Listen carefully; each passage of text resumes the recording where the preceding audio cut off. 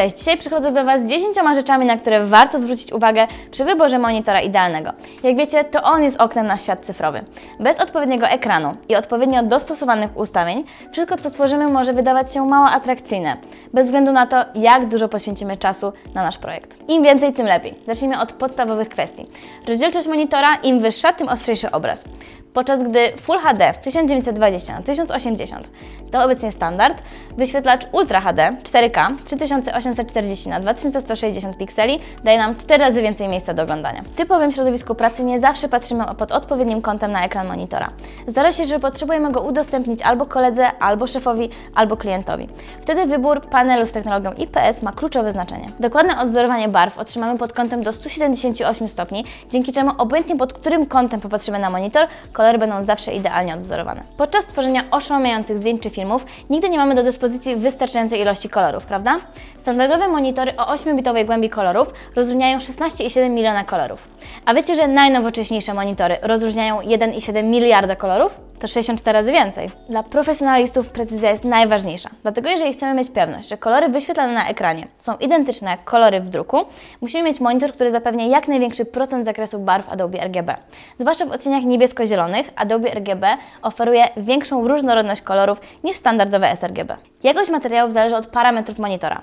Czym są sRGB, Adobe RGB dla zdjęć i Red 709 i DCI-P3 dla filmów, to międzynarodowe standardy określające dokładność kolorów. Aby uzyskać najlepsze odzorowanie barw i najjaśniejsze kolory podczas edycji filmów, odpowiedni do takich celów jest monitor posiadający parametry Red 709 i DCI-P3 używane przez producentów filmowych na całym świecie. Podczas pracy nad projektem cyfrowym możemy nie mieć wystarczającej ilości miejsca na ekranie.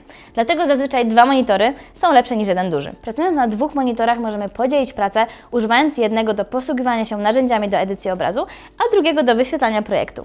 Dzięki ramkom Zero Frame możemy tutaj stworzyć jednolity, prawie bezramkowy wygląd, który pozwoli nam zobaczyć więcej.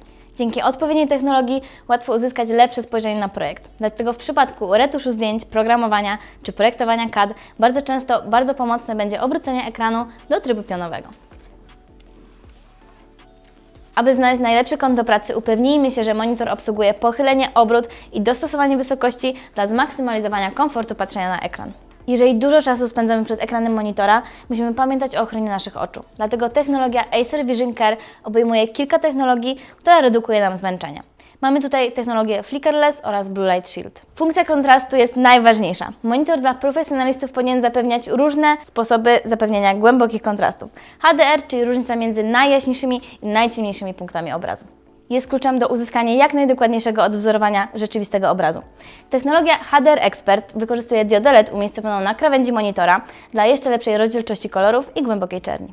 Naturalne słońce. Jest świetne, prawda? Ale czasem ten perfekcyjny czynnik może nam utrudniać pracę. Dlatego upewnijmy się, że w naszym monitorze dołączone są takie specjalne osłonki, które montujemy po jednym boku, po drugim i od góry. One zapobiegną nam wpadaniu promieni słonecznych, no i zmęczeniu oczu w jasnym pomieszczeniu. To by było na tyle. Dajcie mi koniecznie znać, czy chcecie więcej takich poradników, a ja bardzo chętnie je dla Was przygotuję. Do zobaczenia!